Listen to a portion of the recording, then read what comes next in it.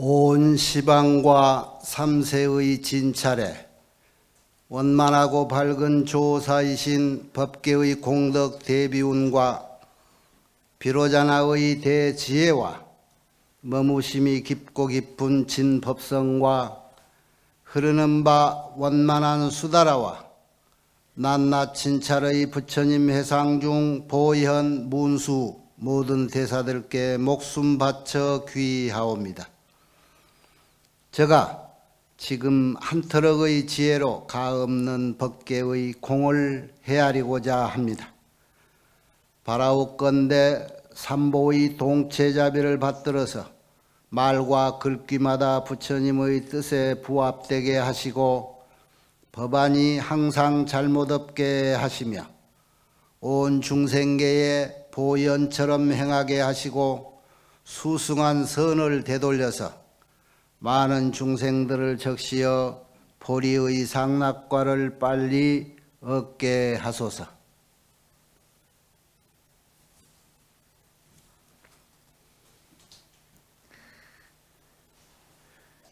하은경 법문하기 전에 내가 이렇게 발언을 자꾸 하는 것은 잊어버릴까봐 어,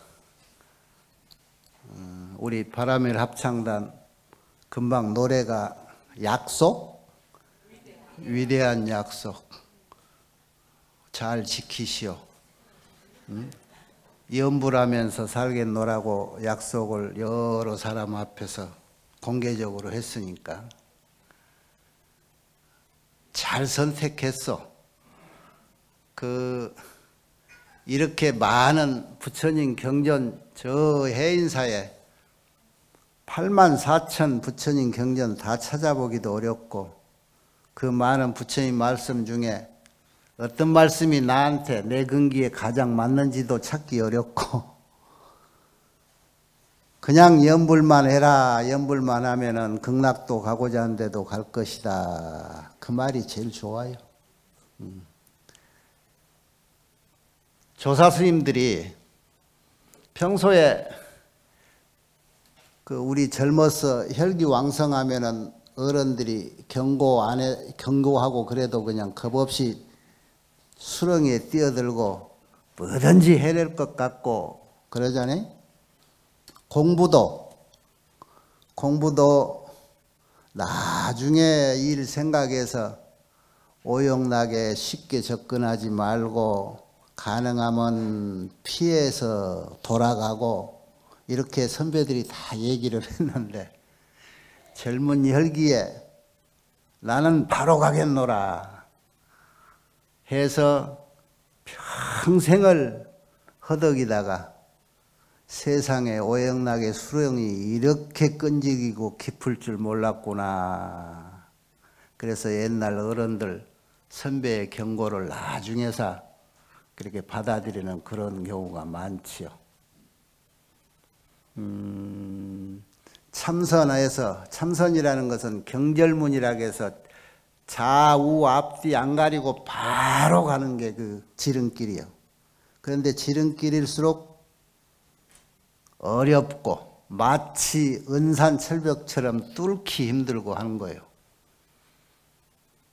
그 세상에 큰 근기 법문이 경전문과 원돈문이라고 그러는데 돈 뭘로 깨닫는다 원 두루두루 그래서 대승경전을 원돈문이라고 그래. 그리고 조사관을 뚫으려고 공부하는 소위 말해서 화두 들고 해서 참선하는 분들 이것을 경절문이라 아까 말해서 하나 둘 생각 없고 계산 없고 바로 아니 불성은 짐승한테도 다 있다라고 부처님 말씀에 그러는데 우리 이 조사 스님은 걔는 불성이 없다. 그 앞뒤 생각하지 말아요. 부처님은 그랬는데 하는 생각도 말아라 하면서 그냥 무무 불성이 없다 없다 거기만 뚫고 가라는 거예요. 이게 이제 경절문인 거예요. 그 대승경전에 온도문이라는 것은 빠질 구멍이 있어. 이러니까 저렇다 저러니까 이렇다라고 하는 변명의 여지도 있고 이것을 의리선이라고도 그러고 원륜문이라고도 그러는 거예요. 그런데 늘 얘기하지만 우리 한국 불교가 이렇게 중국을 거쳐오면서 우리 한국 사람들이 작은 땅에서 덩치도 서양인보다 작으면서 욕심은 1등 아니고 최고가 아니면 안 하려고 하나 봐. 그 공부하는 방법도 최고의 방법인 참선법, 그것도 조사, 경절문, 이런 공부 방법이 수입돼서 그거 아니면 은 곧 죽어도 다른 건 거들떠도 안 벌고 평생을 사시는 거다. 이제 자기 근기를 살펴서 이제 공부하는데 여러분이 다 자기 근기 이제는 살펴서 염불하고 살겠습니다 하는 참 위대한 약속, 말 그대로 위대한 약속입니다. 그 약속 잘 지키고 삽시다. 아, 10주 10행, 53 선지식 만날 때 10신, 10주, 10행, 10회양, 10지 그러죠. 10행의 세 번째, 그 지난번에 두 번째, 전체 열두 번째인데 자제주 동자는 문수보살 앞에서 아, 이 수리법을 배워가지고 하나만 꼭지점에 올라도 모든 도를 같이 통할 수 있는 거예요. 자제주 동자가 요즘 말하면 소위 수학, 물리학을 전공을 해서 문수보살 앞에서 공부했던 분인데 그 공부 하나의 성취만으로도 모든 세상의 이치를 다 알아챘다. 그런 얘기가 지난 시간이고. 그러면서도 이들이 항상 마지막에 뭐가 바탕에 깔려 있느냐 이런 공부를 할 수 있었던 것은 하심, 겸손함이 항상 깔려 있어. 나는 이 정도만 아는데 여타의 다른 공부에서 훌륭한 저 큰 보살들은 나는 견주기도 어려울 만큼 어마어마한 경지에 있는 분들이다. 그 중에 한 번 이렇게 남쪽으로 또 가봐라. 가보면은 다음에 이런 분이 또 있을 것이다. 라고 자기를 겸손히 하면서 자기보다도 월등히 뛰어난 선지식을 찾아가게끔 추천하고 권해 주는 것. 요게 이제 공부가 되면 될수록 그렇게 그런 사람들의 미덕이 남아 있는 거예요. 자제주 동자 다음으로 구족 우바이 선지식을 이제 소개를 하는데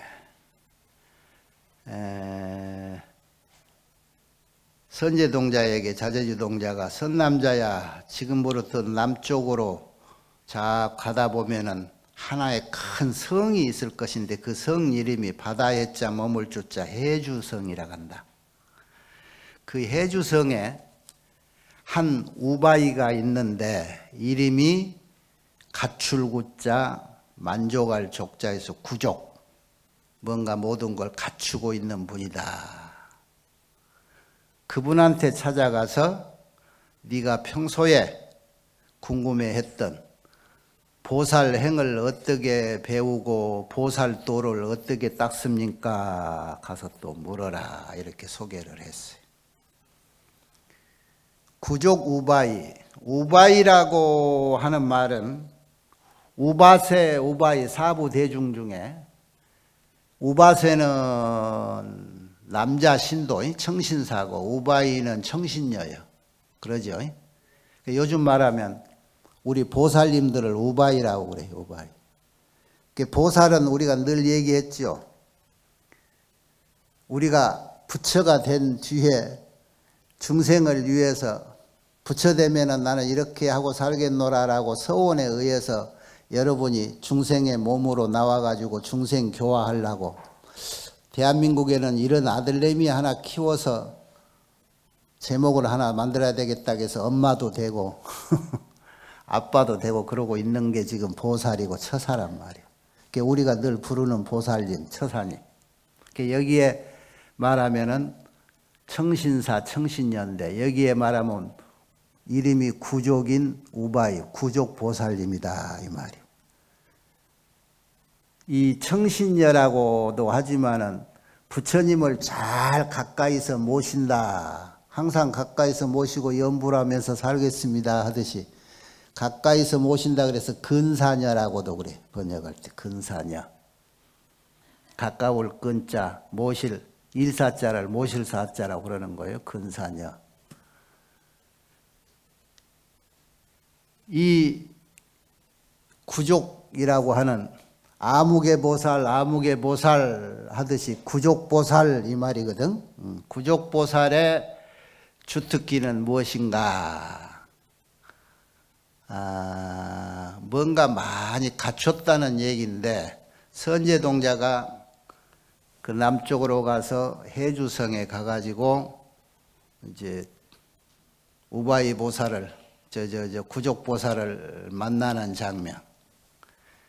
사제주 동자가 이리 가봐라 그 말을 마치고 그 말을 듣고 나서 헤어지려고 하니까 거신 모수 한이 용약이라 온 몸에 그냥 털이 곤두섰어. 여러분 아주 그냥 아주 깜짝 놀라든가 순간적으로 황홀하든가 할 때는 그냥 막 모골이 송연하다고 온 몸에 털이 막 솟아나죠. 선제 동자가 자제주 동자에게 공부하고 나오고 헤어지려고 하다 보니까는 그냥 온 몸에 털이 곤두서고 기뻐서 어쩔 줄 모를 쪽으로 막 다리가 동동 뛰듯이 정말로 드문 희우한 믿음과 즐거움의 보배 마음이 생겼어.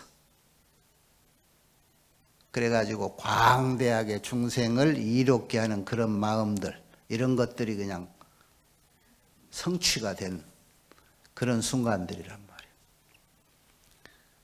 그래서 이제 또 한 번의 깨달음을 얻고 많은 능력을 갖추는데 그 순간에 이제는 선제동자도 큰 도인이 돼가지고 앞으로 일체 재불의 추릉 차제를 알아.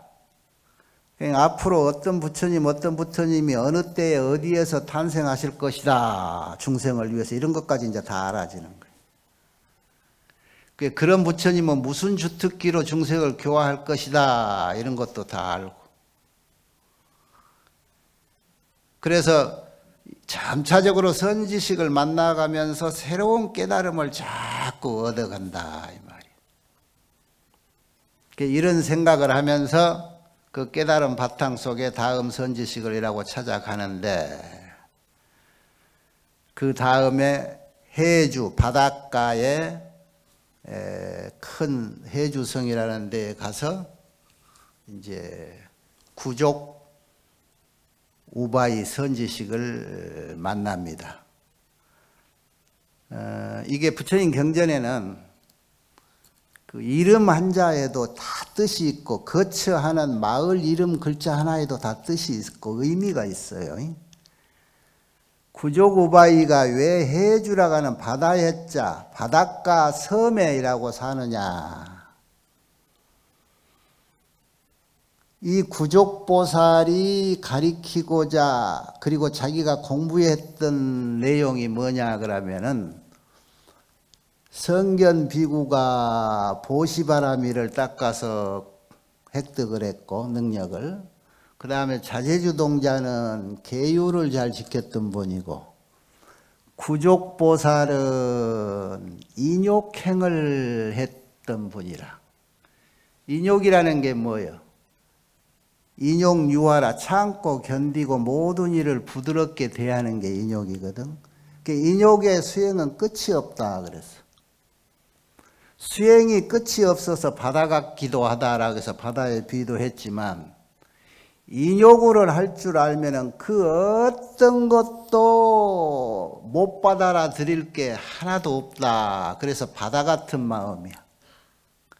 마치 여기 경전에 얘기했듯이 바다는 천둥 번개가 몰고 오는 억수 같은 감당기 어려울 것 같은 이 소낙비나 많은 비구름도 다 그렇게못이 받아줘. 그리고 내보내지 않고 다 품고 있어. 바다의 영향이 그예요. 그 전에 팔공덕이라고는 바다의 여덟 가지 공덕을 얘기했죠. 나쁜 거 뱉어내지만 은 다 받아들이고 용서하고 그러는 거란 말이에요. 인욕이라고 하는 것이 마치 바다같이 모든 것을 인욕행으로 수행을 하면은 모든 것을 참고 견딜 줄 알면은 세상사 못 받아줄 것이 하나도 없다 그런 뜻이요. 그래서 바닷가에 머무른다 또는 바다가 둘러싸인 섬에 머무른다 그래서 해주 해주성 그러는 거예요. 그 참는 수행을 잘 하면은 참는 수행을 잘하면은 이 구족 우바이는 어떤 능력이 뛰어났느냐? 이 선제동자가 구족보살에 있는 그 집을 찾아갔는데 에...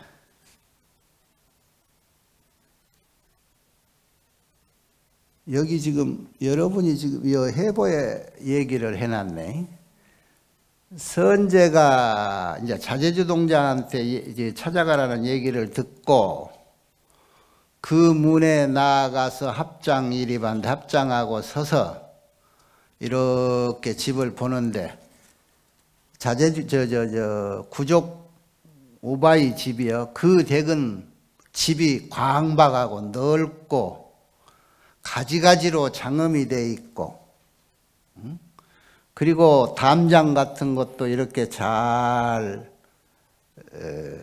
둘러싸여서 사면에 보배 같은 걸로 이제 장엄이 돼 있더라. 선제가 그 집에 들어가서 이 구족 우바이, 구족 보살이 보배 좌석에 앉아 있는 것을 보았는데 아주 성년 호색이라는 것은 얼굴 빛깔이 좋고 수행 잘하는 사람 나오듯이 대추빛 같은 그 화색에 단정하고 그래고 쳐다만 봐도 그냥 하, 내 마음이 막 기뻐지는 항호라고 해야지는 그런 모습을 하고 앉아 있는 거예요. 옷차림은 어쨌든가 소복에 머리는 이렇게 길게 늘어뜨리고 대신 몸에는 아무런 장식품이 없더라. 신무 영락이더라. 그 몸뚱이의 색상과 이덕 광명은 마치 장담하건대 부처님 보살님 제하고는 비길 자가 아무도 없을 정도로 훌륭해 보이고 거룩해 보이고 위험에 있어 보였다. 수행 잘하고 공부 능력 있는 분이 일하고 사는 모습 보면 한 일하고 탁 봐도 그 주변이 한눈에 보이고 어떻게 사시는가 사는 것만 봐도 그 공부의 능력을 짐작할 만큼 이렇게 훌륭하더라는 거예요. 그 집 안에서는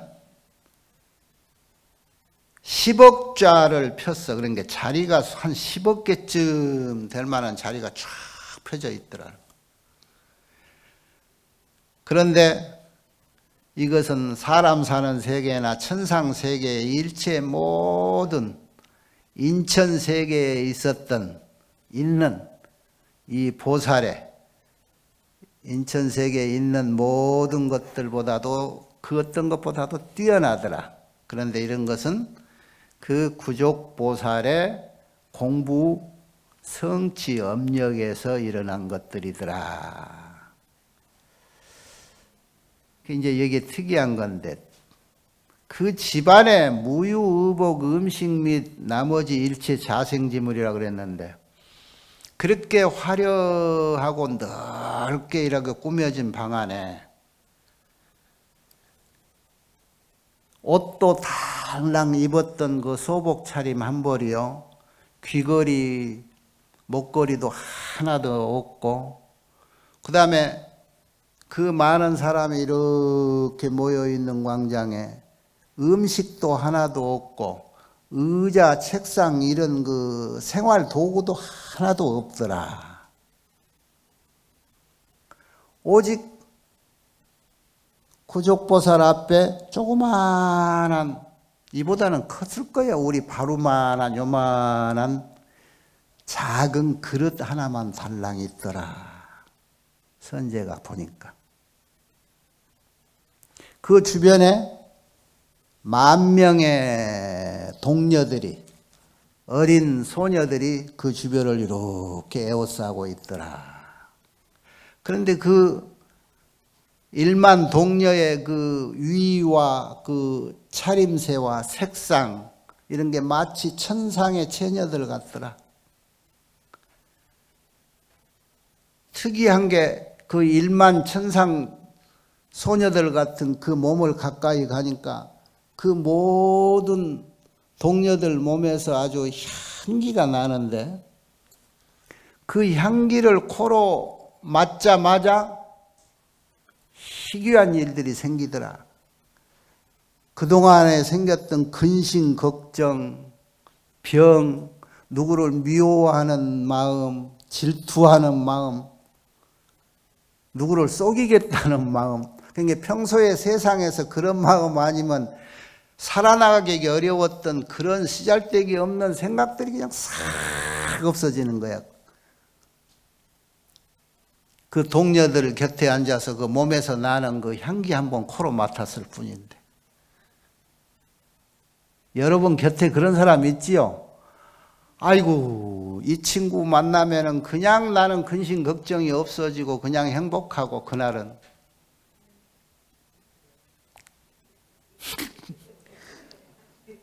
웃는 이유가 뭘까? 곁에 그런 사람이 있어야지, 곁에. 반대로 내가 그런 사람이 돼줘야지. 그 어떤 사람이 그렇게 말하면 그 소리가 부드럽고 그 말 소리만 들어도 그냥 근심 걱정이 없어져 버리는 그런 친구가 될 수 있을까? 어떤 연물과 어떤 공부를 하면 몸에서 그렇게 모든 사람이 마음의 근심 걱정을 놓아버리는 그런 향내가 날까? 에? 여러분이 백일 기도만이라도 야무지게 했던 사람이라면 내 말 이해할 거예요. 스님들이 겉으로 일하고 다니다가 아이고 내가 돌아다니는 에너지가 다 소비됐다 싶어서 그냥 어디 가도 신도들 만나서 평소같이 농담 비슷하게 얘기해도 먹어주지도 않고 법문을 해도 내 법문 잘 깊이 듣는 것 같지도 않고 그러면 속으로 뉘우친 게 있어야 돼. 똑같은 말인데 내 말이 무게가 없구나 싶을 때 얼른 각성하고 두문불출하고 앉아서 부처님 의지하고 3, 7일 기도라도 아니면 100일 기도라도 해야 돼. 그동안에 저자거리 가면서 먹어서는 안 될 것들도 슬쩍슬쩍 얻어먹고 해서 몸에 막 쌓인 것들이 아이고 다시 말뚝 받고 한 100일 내가 좀 충전해야 되겠다. 그게 말뚝신심이라고 하는 거거든. 그렇게 해서 막 기도를 하면 한 3, 7일쯤 가까워지면요. 몸에서 막 땀이 나는데 땀에서 냄새가 진동해. 그동안에 세상에서 씨알 데 없는 것들 먹고 다니고 어쩌고 했던 것들이 그냥 빠져나오니라고 냄새가 지속하니 빠져나가요. 그 이후로 40일, 70일 지나가면 몸에서 땀 나는데 그 땀이 향기로운 거예요. 상어도 박혀. 간세음보살 기도를 100일 한다 그러면은 8, 90일째 가면 얼굴이 간세음보살 같이 훤하니 동글납작하니 비슷해지는 거예요. 지장보살 기도를 했다 그러면 지장보살하고 가까워지. 백, 백일 기도 한 번씩은 해봤지요? 그래 자기는 잘 몰라. 그러고 절하고 절하면서 한 두 시간 그 중에는 108배도 했을 거고 입으로는 막 연부를 했을 거고. 평소에 그냥 입에서 썩은 내 나는 것들도 집에 가면은 식구들이 다 좋아해요. 엄마 얼굴이 환하고 아빠 얼굴이 환하거나. 평소에 그냥 술 먹고 저 담배 피 냄새 났는데 그런 냄새도 하나도 안 나고 그냥 향내가 나는 것 같고 스님들이 오래 절에서 일하고 있고 연부라고 해서 이 장사면에 향내가 나잖아요. 향 부처님이 향불 켜놓고 그러듯이 몸에 다 일하고 배에서 그 향이 나는 거예요. 자 모든 이들이 천명 만명이 이 향기를 맡고 자기가 생각했던 선근이 아닌 것들은 다 소멸이 되고 성근만 가까워지는 그런 유실력이 있다는 것은 얼마만큼 이 일만 동료들이 수행을 많이 했겠어. 그 이들을 모르고 다니는 구족 우바이, 구족 보살은 또 얼마나 수행을 오랜 시간 동안 잘 했겠느냐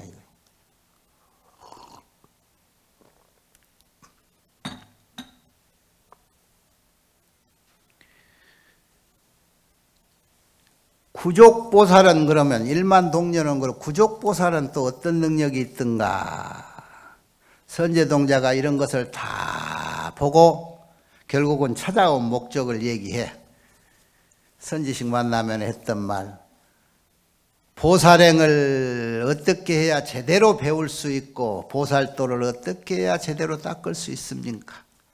제가 듣기로 성자께서는 잘 가르칠 수 있다라고 하신 분이었으니 저를 위해서 이렇게 좋은 말씀 설해 주십시오.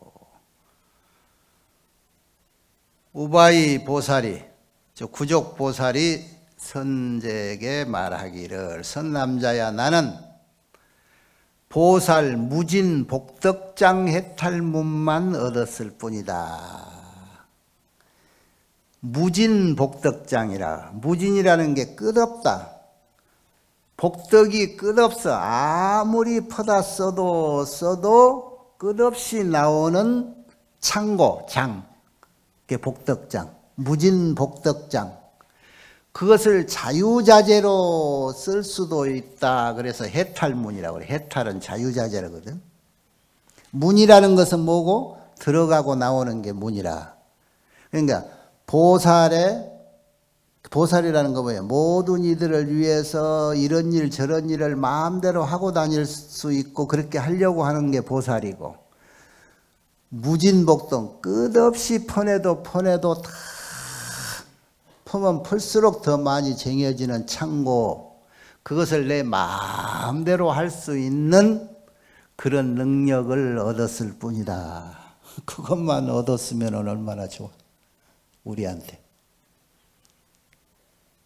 그 문이라는 것은 사바세계를 출세관과 이 세간을 왔다 갔다 한다고 해서 문이라고 그러는 거예요. 보살이 우리 세상 사바세계 중생을 구제하기 위해서 출세관에서 삶을 포기하고 사바세계로 오는 거잖아. 그래서 문이라. 무슨 해탈문, 무슨 해탈문. 이 선지식이, 이 보살들이 사바세계에서 역할하고 있는 모든 대승보살은 전부 그런 해탈문 능력이 갖춰진 분들이다 이런 거. 그래서 이 무진 공덕장 해탈문이 한 예를 들면 어떤 능력이 있느냐? 봐라. 여기에 내 생활 도구가 아무것도 없고 이 작은 그릇 하나다. 그런데 여기에서 없는 게 없이 원하는 것을 다 꺼냈을 수 있다. 이게 무진 복덕장 그릇이야 이게. 배고픈 사람에게 식량이 나오고 음식이 나오고 옷 없는 사람에게 옷이 나오고 필요한 생활 도구가 원 없이 필요한 대로 다 원하면 거기서 나오는 거야. 이 작은 그릇 하나에서. 뭐 복잡하게 큰 추럭에다가 쌀 싣고 다니고 라면 싣고 다니고 밀가루 싣고 다닐 이유 없으니까 작은 그릇 하나라고 들고 가는 거예요. 여기에서 뭐가 필요하냐? 대단한 능력이죠. 돈을 추록으로 몇 차쯤 싣고 다녀서 그걸로 물건을 사서 남 줘도 그게 한계가 있을 거예요. 근데 이 무진복덕장이라는 이 작은 그릇은 상관없어. 그냥 갖고 다니기 좋고 필요할 때 거기서 얼마든지 꺼내 쓰고. 아무개 회장님 자기 고향에 소 수백 대 차에다 싣고 가서 매푸는 거 얼마나 번거로워. 그냥 이 작은 그릇 하나 갖고 가면 될 것인데. 요즘같이 연말 연시에 주변에 둘러보면 참 주고 싶은 사람 많고 주고, 주고 싶은 것 많고 그러잖아요. 이 작은 그릇 오늘 하나 챙겨 갖고 가라고. 여러분한테 다 있어요. 내가 그 전에 한번 만들어 줬지.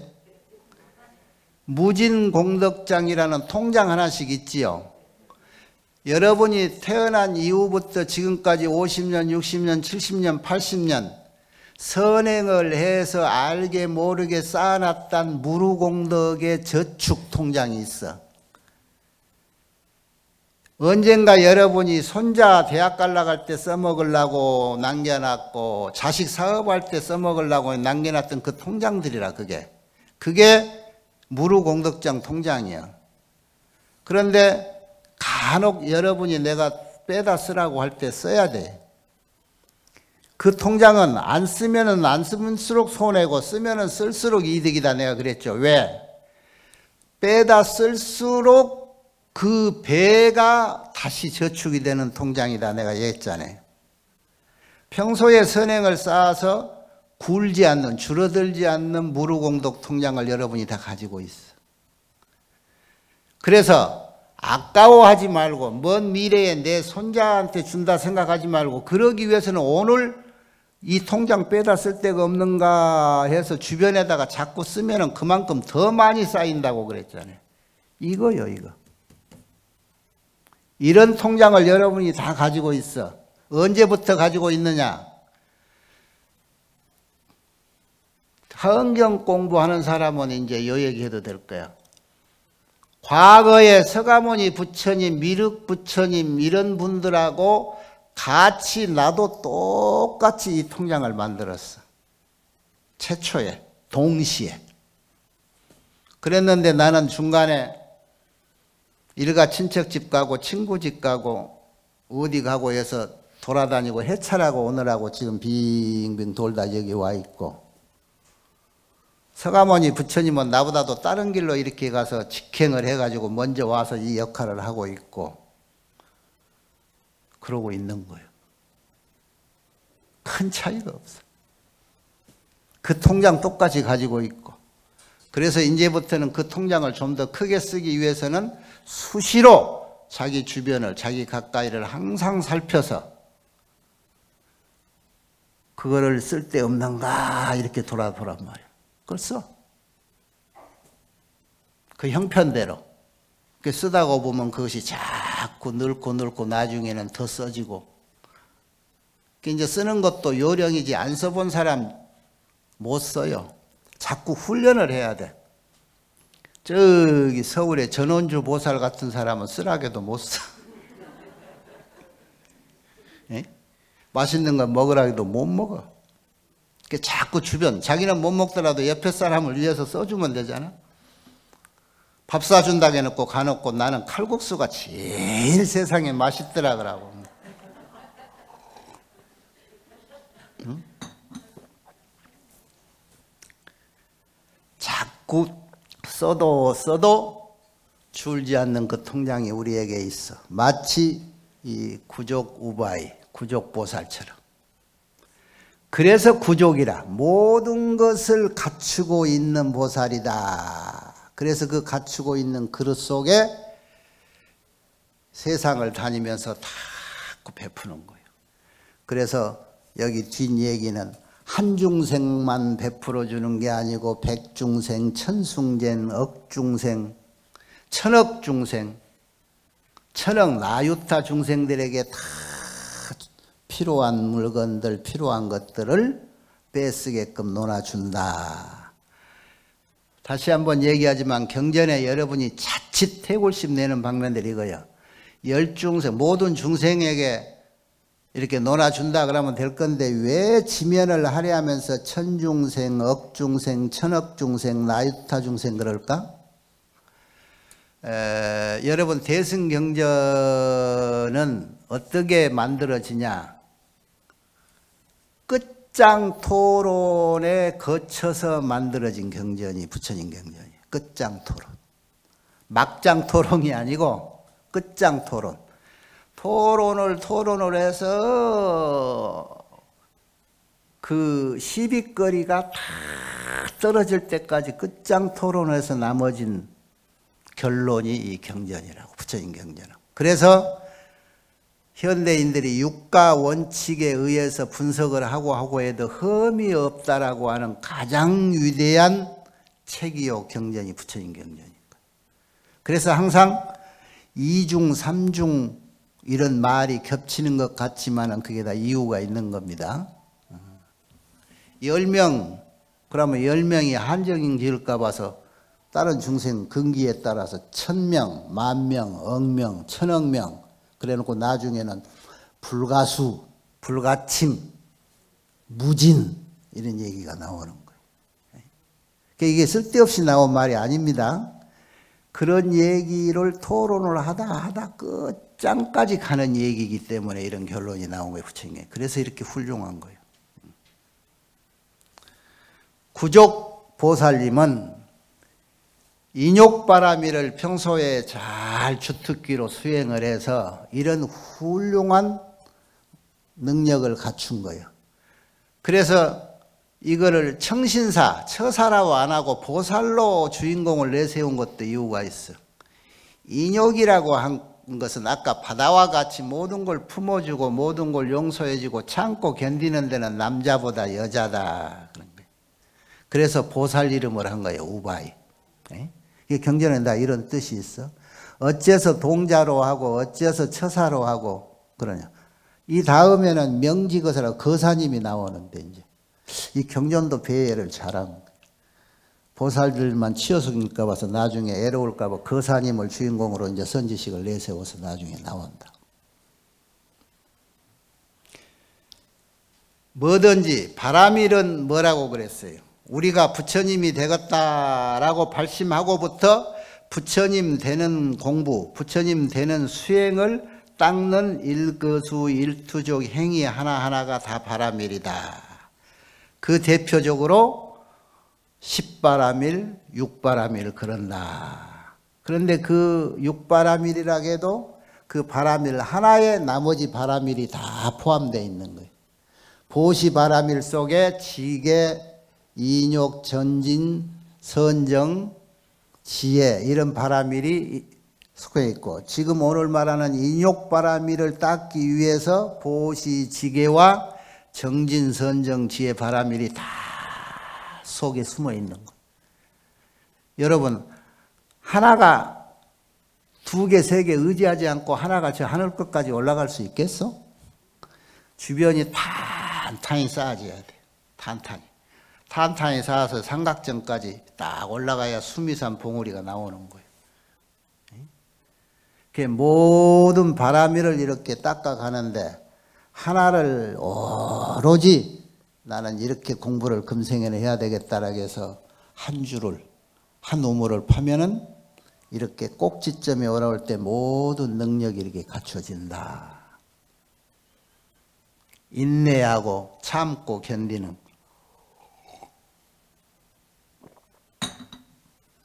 에, 통연장자는 이 대목에서 이렇게 설명을 했어요. 행인신심 무증변이요 재견대소여 호공이라 그러네. 인욕행을 행하는데 신심이 몸과 마음은 중간과 가가 없다. 그러죠? 재견대소 여호이나 크다 작다 하는 소견들 무엇이 크네 적네 이런 소견을 다 버리고 마음을 마치 저 허공같이 가져란 말이에요. 그래야 인욕을 할 수가 있는 거예요.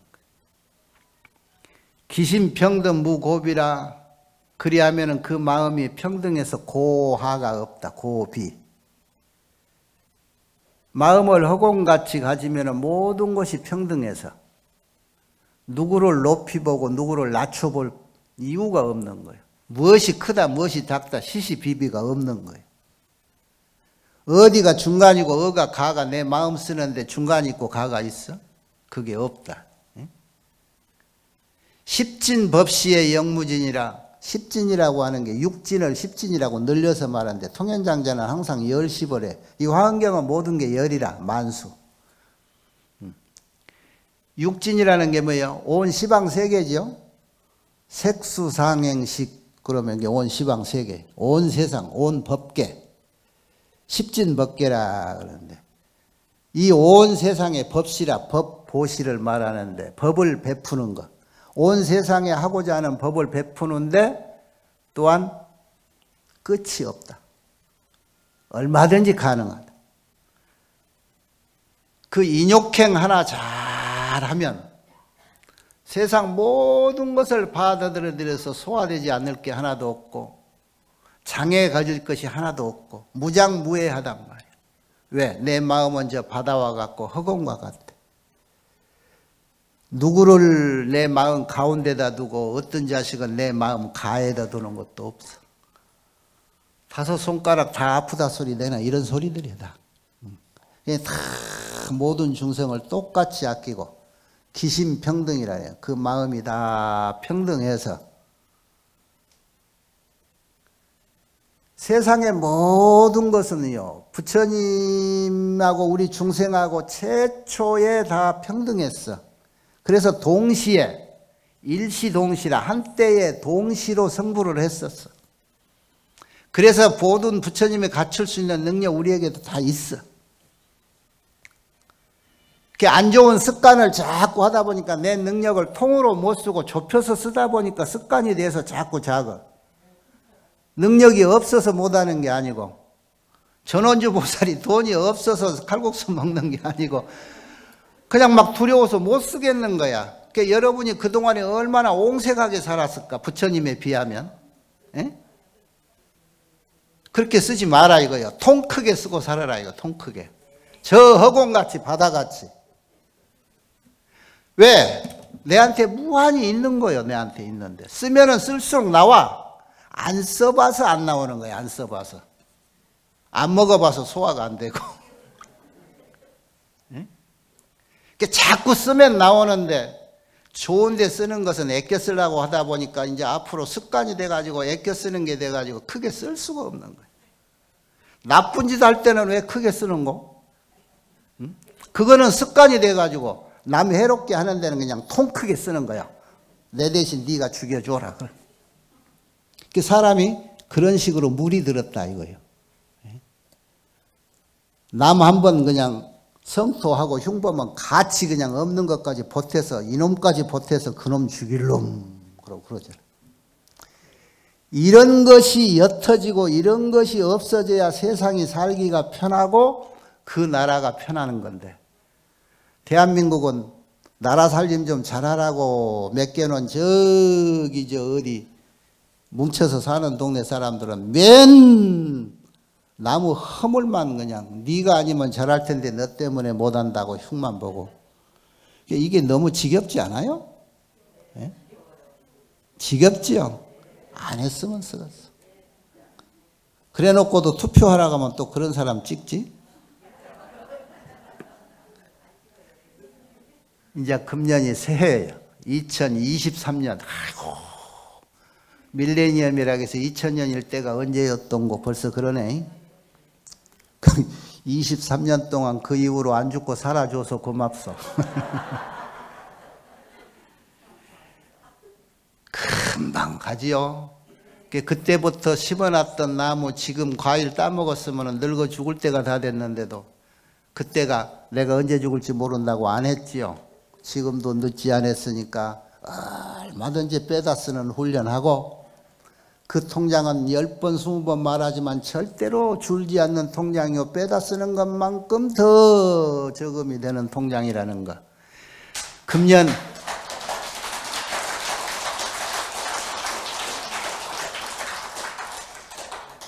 금년은 연초부터 무엇인가 좀 달라질란가 내 삶이 전부 다. 에? 아직 봄이 이른 듯한데 이렇게 아주 이쁜 꽃가루 옷을 입고 온 우리 합창란이나 우리 여 뒤에 앉아 있는 처사님, 거사님들 다 금년 내내 그 무진 복덕장 통장 마음대로 자유자유롭게 그것이 해탈문인데 자유롭게 쓸 줄 아는 그런 훈련을 잘 해봅시다.